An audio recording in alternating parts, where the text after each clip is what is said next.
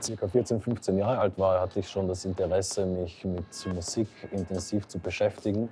Also ich habe dann in Bozen am Konservatorium habe ich Komposition studiert und nach einigen Jahren bin ich dann nach Graz ähm, gegangen.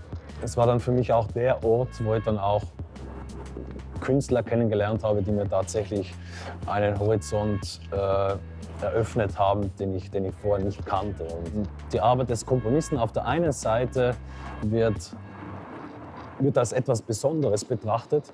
Es gibt diesen kreativen Bereich im Komponieren, den man vielleicht nicht immer äh, mit, mit Worten fassen kann, aber es gibt dann einen ganz großen Bereich, der ist einfach nur Arbeit.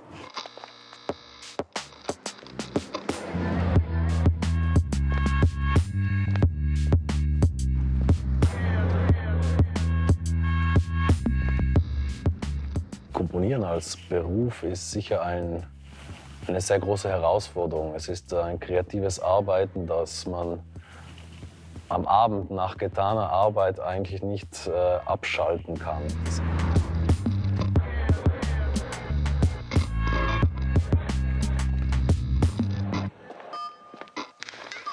Also Gaia ist im Rahmen dieses Wettbewerbes sehr schnell, sehr sehr spontan entstanden.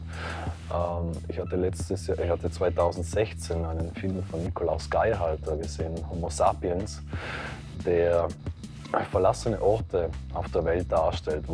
Es war diese, es war eine sehr starke, starke Emotion im Sinne von irgendwie Trauer, weil es keinen Menschen, weil es den Menschen nicht mehr gibt, aber auch diese Faszination, was die Natur, was, ähm, was Zersetzung, De Destruktion von, ähm, von Materialien mit diesen Orten anstellt.